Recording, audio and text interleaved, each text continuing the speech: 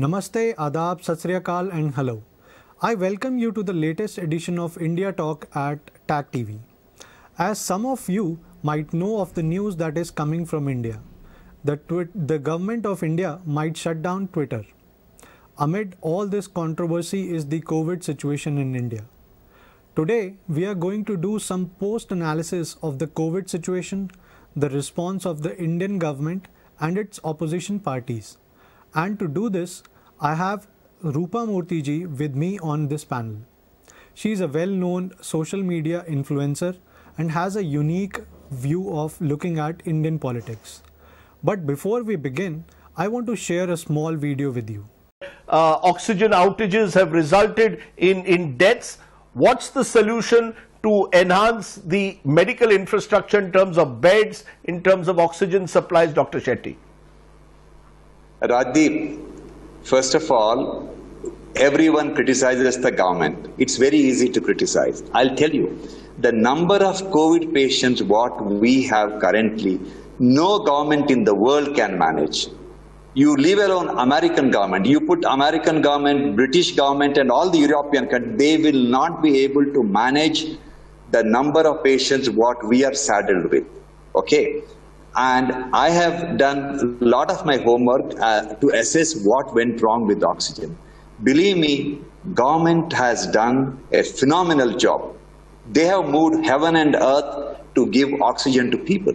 But the difficulty is from 900 tons of oxygen, if it goes to 9,000 tons in few days, there is no logistical system available to uh, shift that much of oxygen. We may say that, okay, all the steel factories produce abundant oxygen, but only 3% of that oxygen can be transported. They are in the liquid form. And there are less than 1,500 tankers which can shift. And these tankers cannot move more than 30 miles per hour. And most of the oxygen producing steel plants are in the uh, western India and eastern India. And most of the COVID patients are in northern India. These tankers have to move 1500 kilometers. It is not, it is a Herculean task. I know they have used every possible means to give oxygen, but still people are dying. I know, I feel sad that we couldn't save precious life because of the oxygen, but that is the nature of the disease. And we have to realize that health sector was ignored since independence every government, irrespective of the color, they never bothered about investing on creating infrastructure for healthcare. And this is what we are paying now. Namaste, Rupa ji. Um, I, again uh, welcome you to India Talk at TAG TV. So we'll we'll straight away move to the agenda for today. So I, I am told that you went to India uh, some time back as well. So I, I want to have a first uh, kind of a first hand experience from you. How is this COVID situation in India? And uh, if you can talk a little more in detail about, uh, you know, if you can do a comparison between the Indian response and the West, res- the response of the Western countries in the in the COVID situation. So if you can do that to begin with. Thanks for having me on your um, show once again. Um, I'll definitely um, do a comparison. You know, a few days ago, I had written a post actually on social media, which went viral, uh, I believe, on WhatsApp as well, uh, uh, comparing what, uh, uh, basically detailing what uh, we in the West, we in the US went through, what healthcare challenges were. You know, so you know, back um, from the from the get go when the COVID started, I have been continuously warning people uh, on social media to be careful, to take it seriously. And at that time, a lot of our fellow Indians on social media try to dismiss it as a, a hoax, a propaganda by the uh, by the pharma companies, and you know, and they even accused me of colluding with China and pharma companies in spreading fear and uh, unwanted uh, panic. Some of them even unfriended me and uh, unfollowed me. But then, as people started to take it seriously, as they realized this was not a hoax, they were still very hesitant to uh, to wear the masks. There were many debates on the you know the positives and negatives of uh, wearing a mask. It happened on my post, and most of them were still leaning towards not wearing the mask. America went through a nightmare. We had shortages of uh, PPE, drugs, beds. You know, uh, the hospitals were really full. The morgues were overflowing. Uh, the funeral homes were overwhelmed with the number of bodies. So it was it was really bad. And at that time, uh, Mr. President, uh, Mr. Trump, wasn't very uh, reasonable in handling it. And I, being a Trump supporter myself, I'm saying this, and I have voiced it, uh, voiced my disapproval very publicly. Uh, you know, there comes a time when it's not about politics at all, when it's not about who you support, which political party you support. It simply boils down to the welfare and uh, safety and health of people. So, um, you know, initially, people, there were many people in the US too who thought they were invincible. Uh, they couldn't get COVID infection. They ended up, and since we didn't have a lockdown in the US, a lot of them went out partying, got infected, became super spreaders. And uh, while all this was going on in the US, the press was taking uh, Mr. Uh, Trump, to, President Trump, to task, of course. You know, people who voted for him, who were his supporters, were questioning him, and rightly so. Uh, there were riots in some of the bigger cities. People were acting like, you know, it's business as usual. But people in smaller cities and smaller towns kind of realized they, you know, they were alerted. They were like, hey, something is not right. We need to take charge though it was a little late, nonetheless, they took charge. They kind of came together. They forgot all the political differences. They came together. They they realized the importance of working towards a common goal. You know, at that time it was containing COVID.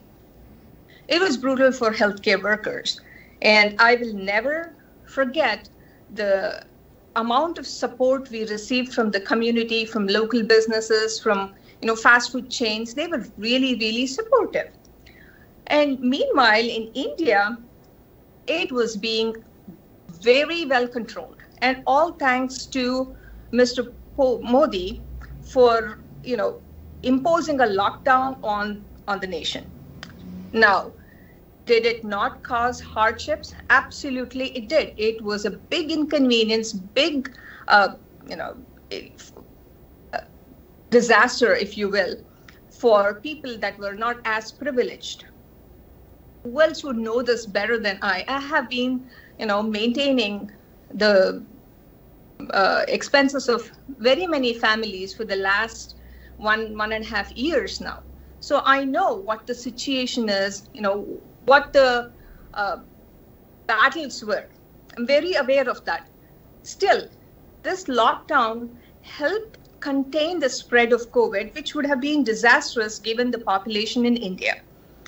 Now, even then, the news was predominantly about how uh, tortured the uh, underprivileged were in India because of Modi's lockdown. You know, while in America, we were, the bodies were piling up exponentially.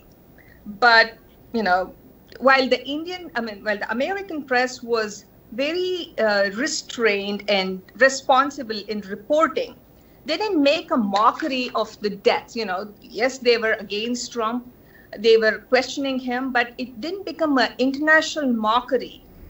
And you know, like some journalists, even then, couldn't stop painting Mr. Modi as an oppressor of the underprivileged. And since many people in India didn't uh, exactly know how bad the situation, especially in the healthcare uh, area, was, how many people lost jobs, how people were, you know, they are straddled with, you know, humongous hospital bills here. And I would often see comments like, how do you know, what do you know how bad it is in India? Uh, you don't know. You're sitting comfortably in America. You, you know, once you lose somebody close to you to COVID, then you'll understand the pain.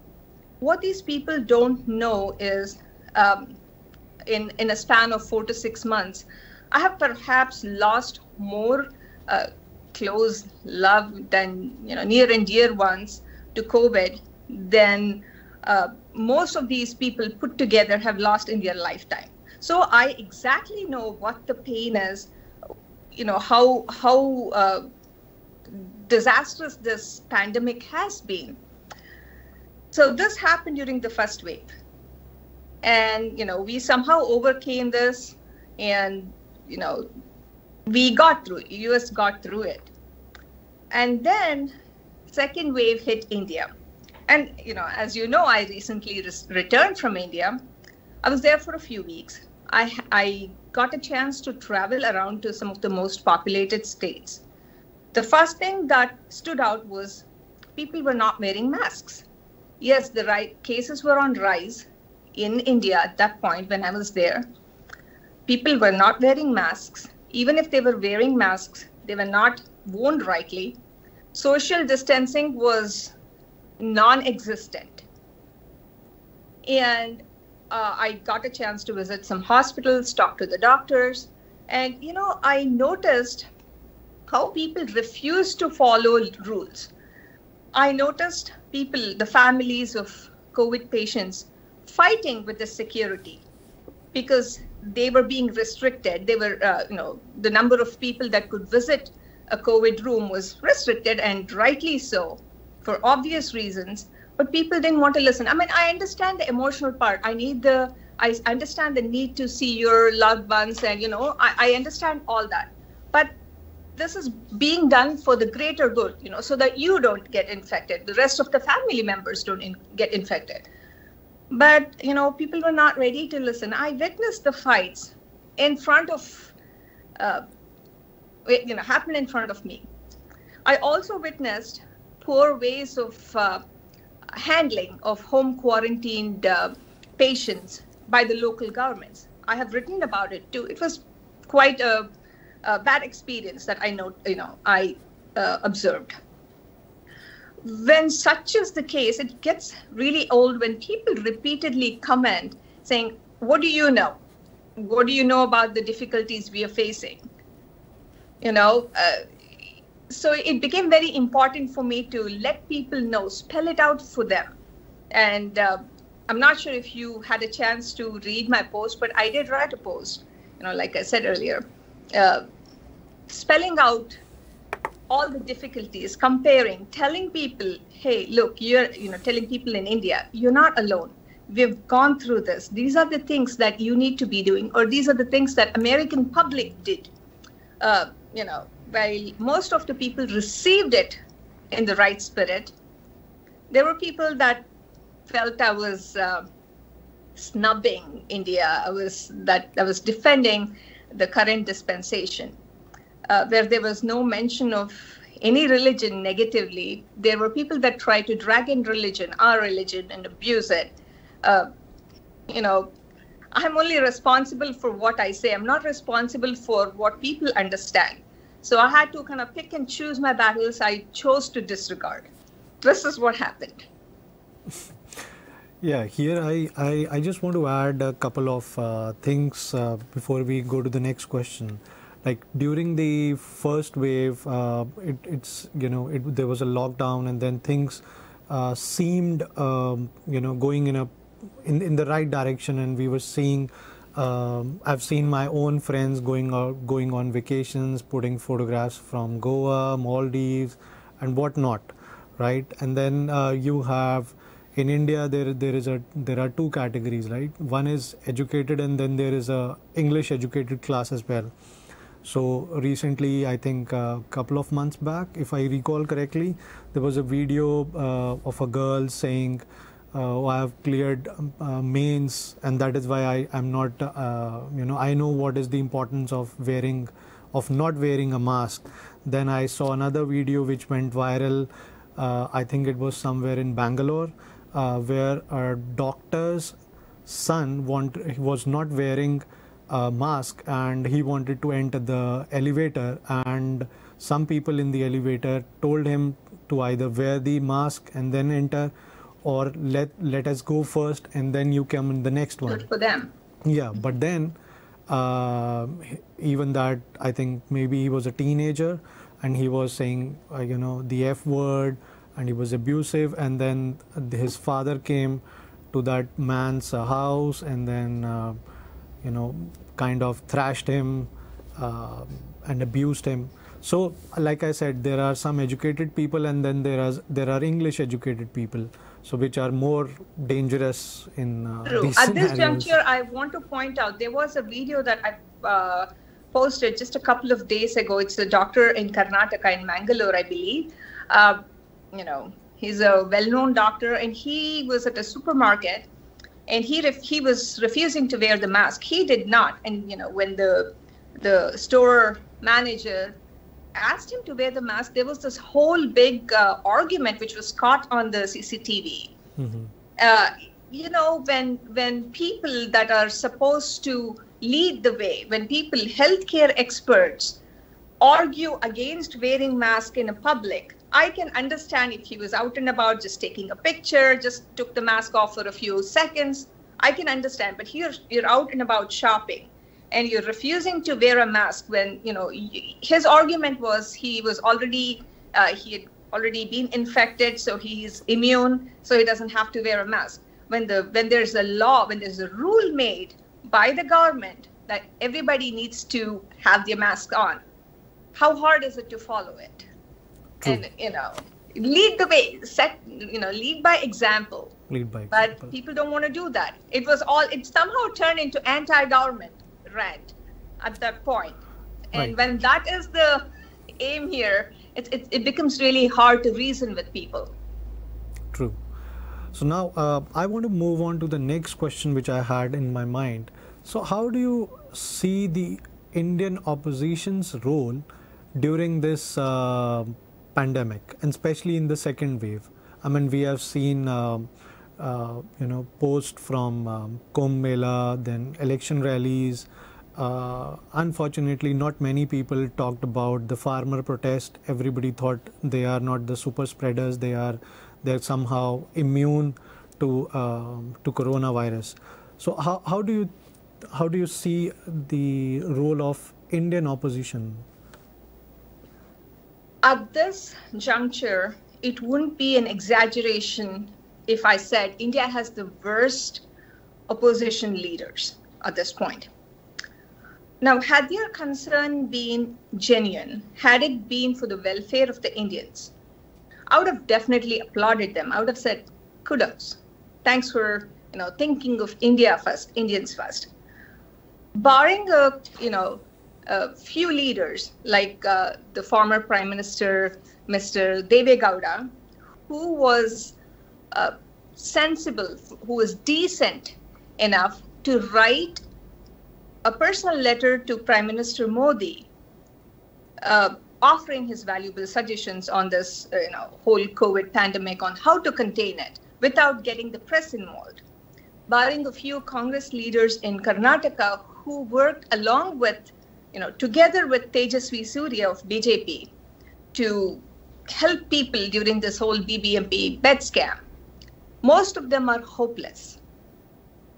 Be it encouraging the shaheen bagh protests in the beginning of the pandemic or creating a ruckus when uh, the lockdown was imposed, encouraging and facilitating the, the circus called the farmers' protest, which, by the by, is going to start all over again with the support of opposition. They've just sent a signed letter. The only person that has not signed the letter is obviously Mr. Modi, and we all know he's going to be blamed in the end for it you know, encouraging and defending the actions of the Tablighi Jamaat, causing severe vaccine hesitancy about, you know, Indian vaccines, openly fear mongering, influencing their followers and supporters uh, to not take vaccine, calling it BJP vaccine. I mean, has it been one or two? What happened during the election rallies? You know, back in last year, I guess, when the Bihar elections were happening, EC proposed uh, digit, holding digital rallies. It was BJP and I believe it was JDU that were that agreed to it. And guess who opposed? It was Congress and the rest of the people. They did not want it. They wanted the, you know, in-person, whatever rally you call it. So this year, with the West Bengal elections, EC, I guess, didn't even bother to propose it because the, you know, either way, the opposition was going to object it. So initially, during the first wave, I guess the center controlled everything, and it was beautifully controlled. And just before the second wave hit, I believe the states wanted power, and you know the center had to uh, give it to them. What did the states do? And this, I'm talking about both BJP and non-BJP uh, states. Did they contain the situation well? They, were they prepared? No, there was none. There was again more politics. So, you know, it is easy to to sit and blame Modi and demand his resignation. I mean, everything, especially since that has been the agenda from the get-go, and this is this is India's opposition. True.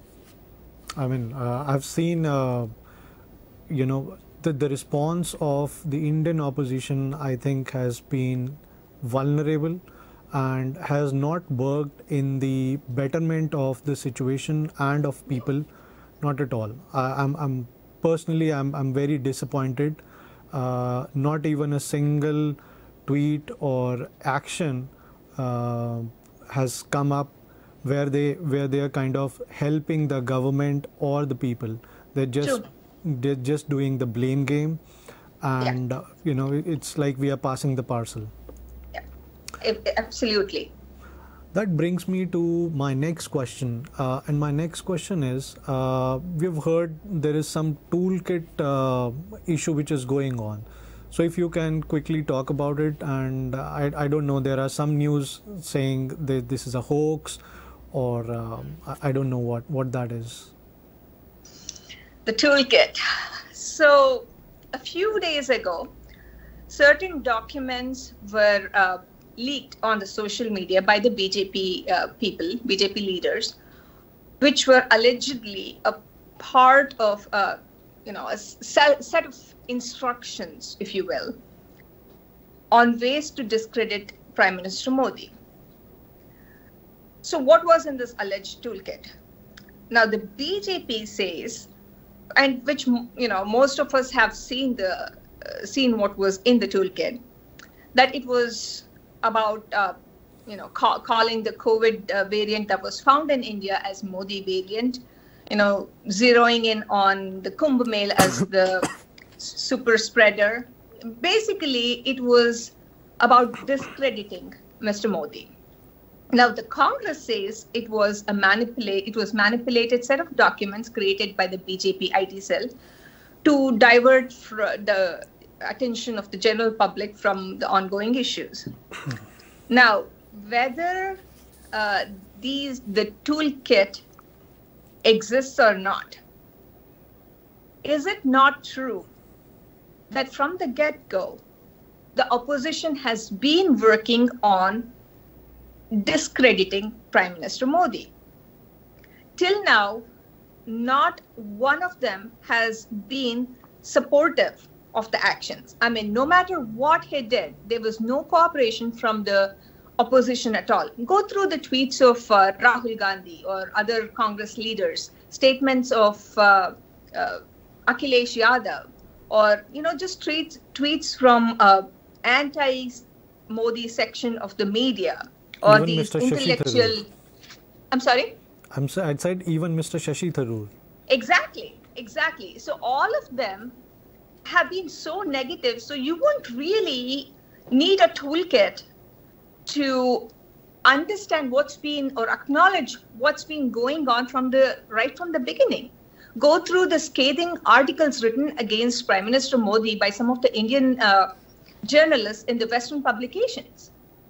Pictures of pyres were sold to the highest bidders. They were splashed all over the international magazines. Is that how any opposition cooperates? And mind you, you know, this didn't happen overnight. This is a smear campaign. It's, a, it's an ongoing smear campaign. There is no concern for the general public here.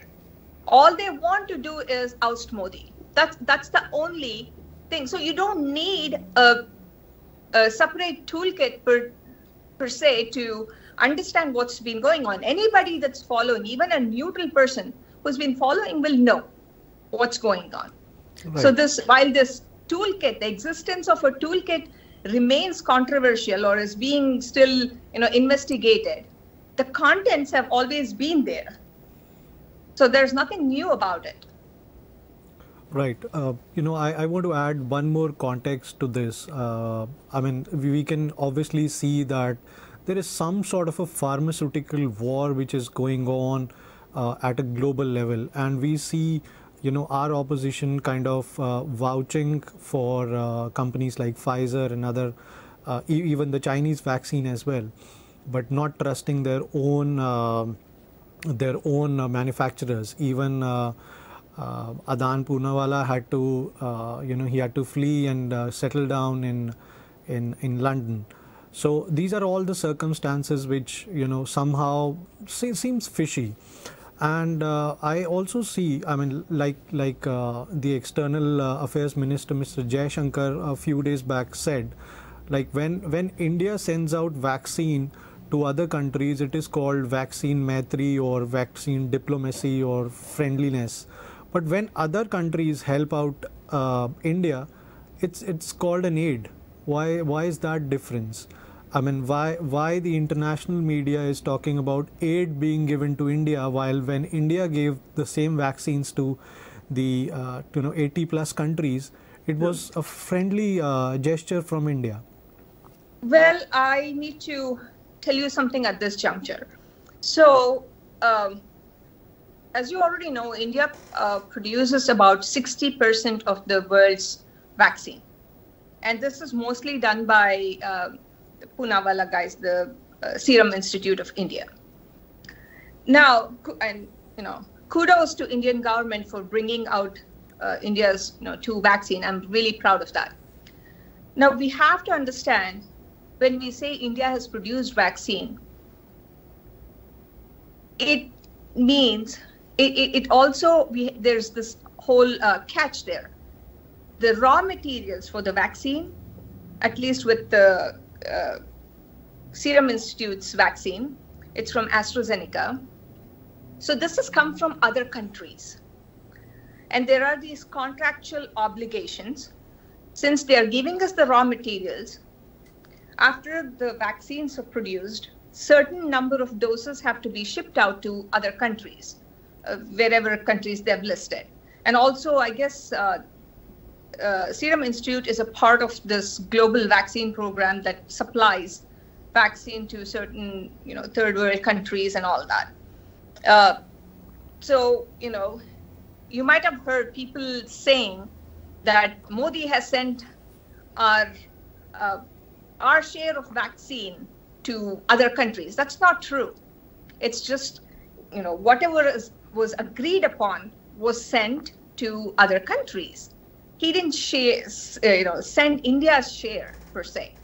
And also, there was a ban or a temporary ban put on the export of vaccines because Indian government said, you know, let's take uh, care of our people first, and then we'll send it out to other countries.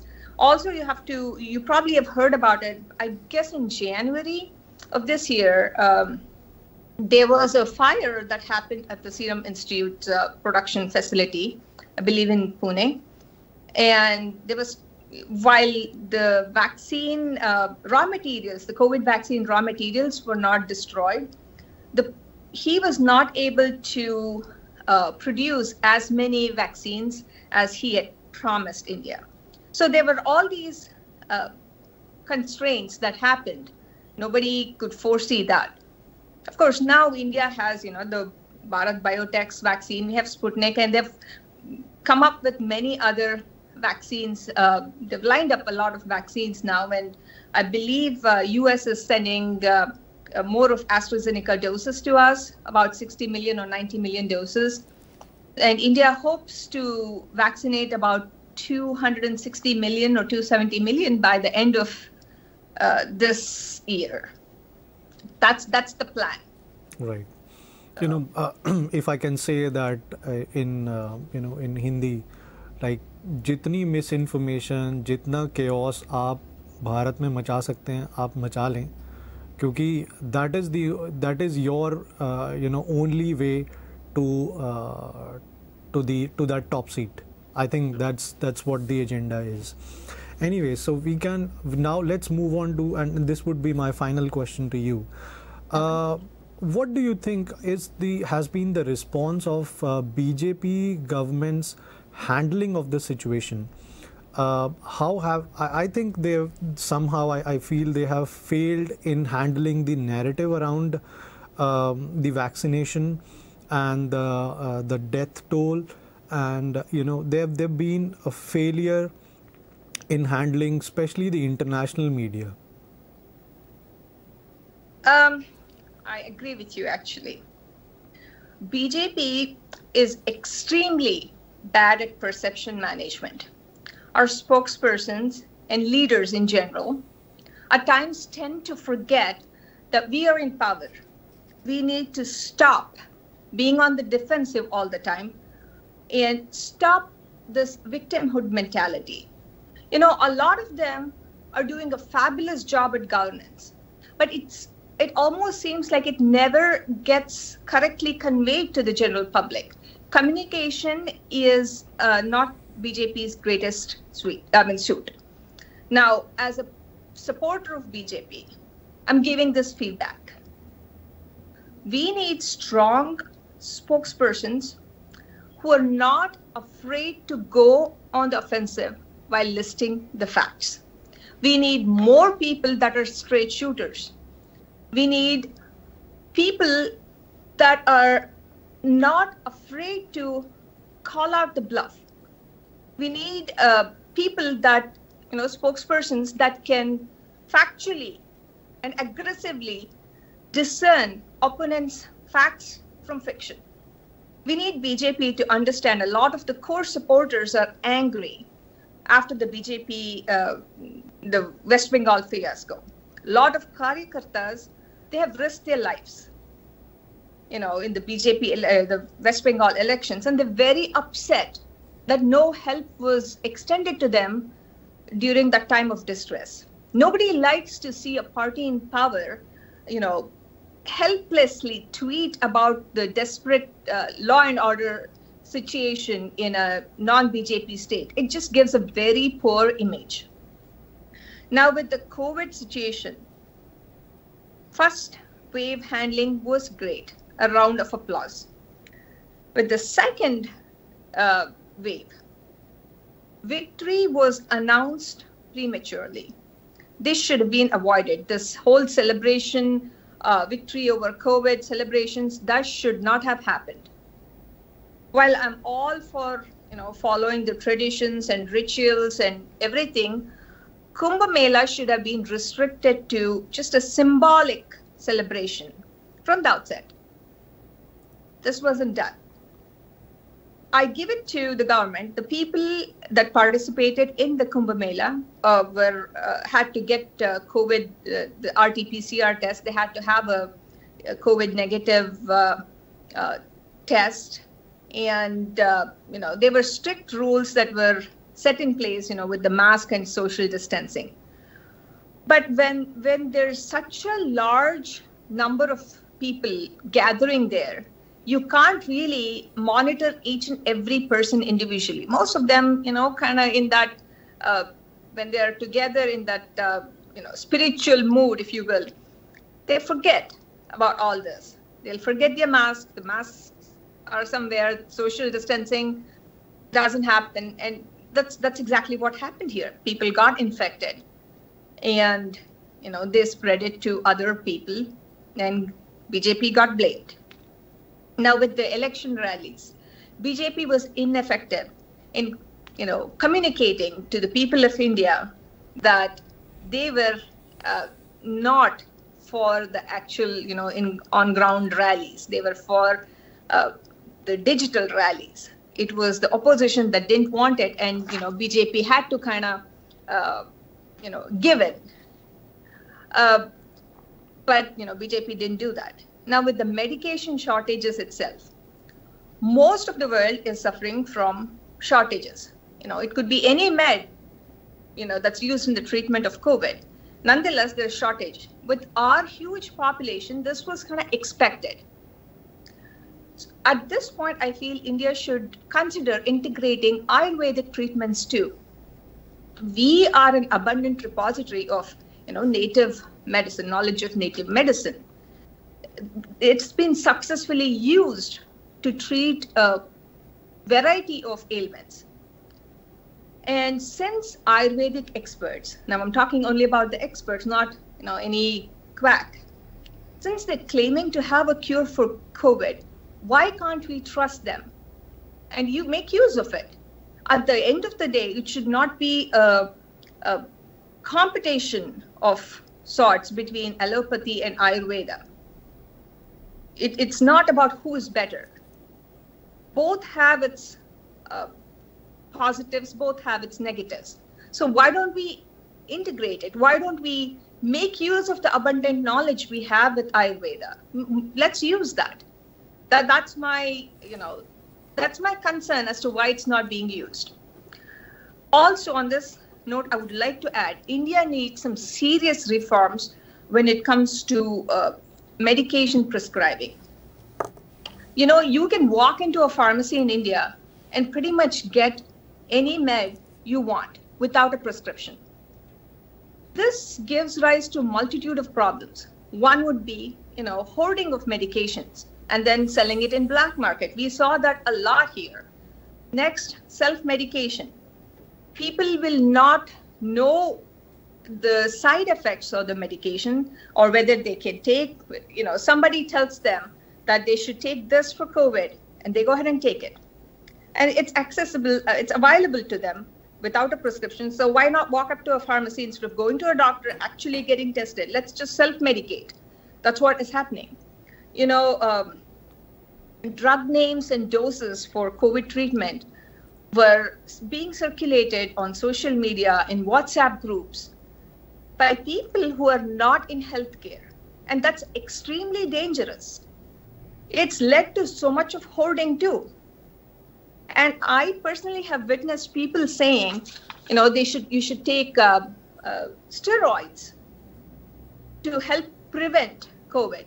Now, I don't even know where they got this from, but I'm sure it was one of the WhatsApp forwards because you know that has become the go-to uh, source for many people. WhatsApp University. Yeah. and then we turn around and wonder why there are so many opportunistic fungal infections that are happening. Why is it all of a sudden why it's rampant? Because people are self-medicating, whether they need it or not. Who takes steroids as a precaution? You know, you're lowering the body's immunity. It, it makes it, you're making it easier for you to get affected. And then who gets blamed for it in the end? Modi. You know, we we do the stupidity and we get it. Now, we already talked about the vaccine situation, so there's no point in kind of going over it. With the oxygen supply, that's been a big controversy. Yes, there have been some legitimate cases where oxygen cylinders uh, were not available, beds were not available. I have lost people to such um, instances. Then I turn around and I see some minister announcing on TV there is no shortage of oxygen. It's just a hoax. It's a fake news, and you know all that. Does my blood boil at this? Absolutely, it does. But then I also understand the the logistics of it, the problems that is uh, involved in you know oxygen transportation.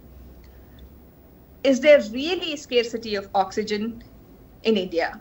Or has this been artificially created by the greedy few? Did we become overconfident after, you know, after our successful control of uh, or containment of the COVID first wave and kind of become complacent and, you know, things went out of control? Uh, did the government not foresee this this sudden explosion and demand for oxygen? Or is it just being blown out of proportion? I don't know. Nonetheless, whether it's one death due to lack of oxygen or thousand deaths due to lack, lack of oxygen, it should not be accepted. However, that's for BJP to answer and set things straight. At this point, I would really like to congratulate the silent worker of BJP, Mr. Piyush Goyal. Uh, he has introduced these oxygen express trains that travel all over India. And till date, it's delivered, I think, about uh, 15,000 metric tons of oxygen, you know, to various parts of India. So it's it's uh, you know carried about there are I think there were about 234 trains that carried about 934 oxygen tankers. So, you know, there are people that are working great. It's just not being told to people. A lot of the general public doesn't know what's going on. And that's in BJP's hands to convey this. I would just like to end this by saying let us applaud the government of India when brilliant steps are taken to help contain the COVID situation. Let us ask tough questions. Let us hold the government accountable when we don't have answers, uh, when we have severe shortages. But let the intent be honest. Let the intent not be to just oust Prime Minister Modi. That's all I have to say. Yeah. Uh, uh, you know, on this point, I, I would like like to add a couple of things uh, before we end this session. So, on the uh, Ayurveda versus uh, allopathy issue, I think um, to a certain extent, I, I noticed that there is some sense of uh, you know pride in just using the Ayurveda for for cure and not uh, falling upon um, uh, allopathy. So, like you said, I mean, both the uh, systems of uh, medicine they have their own advantages and disadvantages. So, why why can't we make it as it as a as a situation based? So, allopathy helps, you know, when the the situation is extremely critical.